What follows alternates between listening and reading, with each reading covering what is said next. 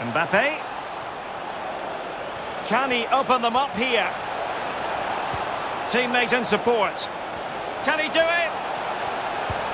Splendid defending. And he's dispatched.